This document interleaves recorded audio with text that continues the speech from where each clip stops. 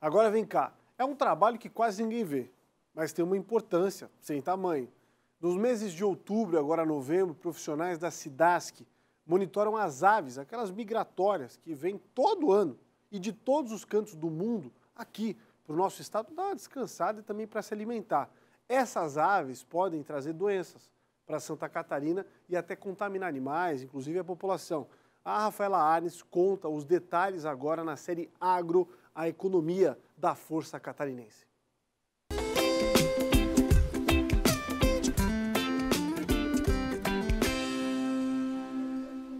O trabalho hoje foi no sul do estado. Essas aves de subsistência, soltas em propriedades rurais, são o foco da equipe da SIDASC. Os profissionais capturam uma a uma para fazer uma análise clínica, colheita de amostras biológicas, sangue e outros materiais.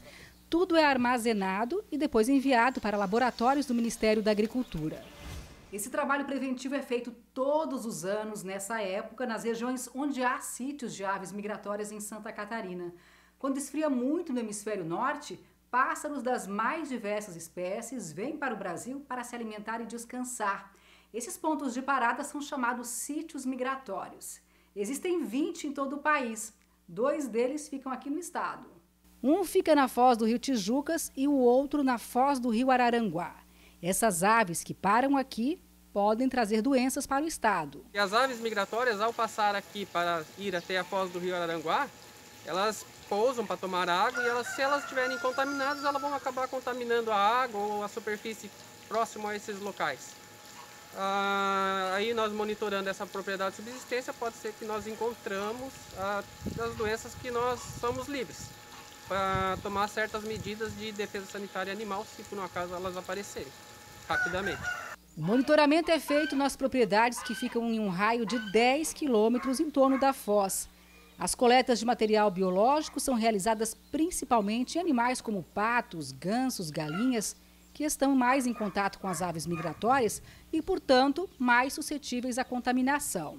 Se algum exame der positivo, ações são tomadas rapidamente para evitar que uma possível doença se alastre, atingindo principalmente a produção de aves catarinense. E essa manutenção desses estudos, a vigilância constante, a atividade da SIDASC permite que o Estado se mantenha como livre das doenças e se um dia por acaso essa doença, né, tanto a Newcastle quanto a influenza, né, elas chegarem, como os nossos técnicos estão em constante é, atividade e atenção a essas doenças, a gente identificaria o quanto antes é, e tomaria as ações para que isso não se alastre é, nem para a população de subsistência, muito menos para o nosso plantel comercial. Santa Catarina é livre das doenças de Newcastle e influência aviária, condição que permite o Estado exportar aves para os mercados mais exigentes do mundo.